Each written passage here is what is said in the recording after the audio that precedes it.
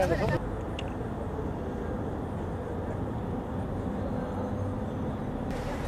perro, a tu lado también. Jiménez, coordinador de homicidios dolosos. Este, nos encontramos en la escena de, un crimen donde se llevó a cabo un, robo con violencia, un camión de valores de la empresa Tecnoval, donde lamentablemente pierde la vida un custodio de valores, que llevó por nombre Daniel Pérez, de 28 años, este, se siguen las investigaciones, este, el vehículo de los presuntos responsables está asegurado, el dinero está asegurado y hay dos presuntos responsables asegurados hasta el momento. Uno de ellos está hospitalizado. Eh, ¿Hay lesionados entonces además? Hay, hay un lesionado de los presuntos responsables y hay otro custodio lesionado. Disparó.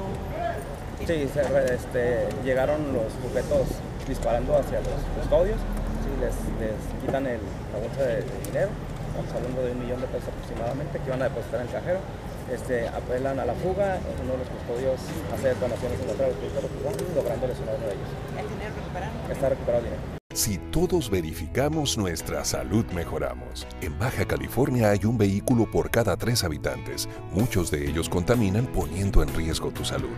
Acude de lunes a sábado de 8 de la mañana a 8 de la noche a verificar tu vehículo y ahórrate grandes filas y multas. Recuerda que requieres que tu auto cuente con su certificado de verificación con vigencia de un año para renovar la tarjeta de circulación 2015. El estado ideal lo construimos juntos. Gobierno del Estado de Baja California.